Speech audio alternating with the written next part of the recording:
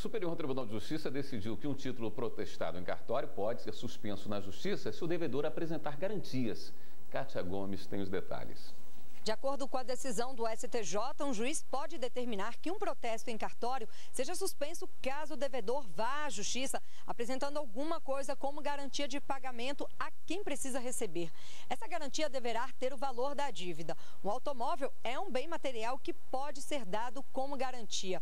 O ministro Luiz Felipe Salomão, relator do processo, lembrou que essa medida está prevista no Código de Processo Civil e que ela pode evitar atraso na decisão do juiz. Mas o ministro lembrou que se o juiz decidir suspender a cobrança sem que o devedor apresente uma garantia, ele vai precisar justificar o motivo.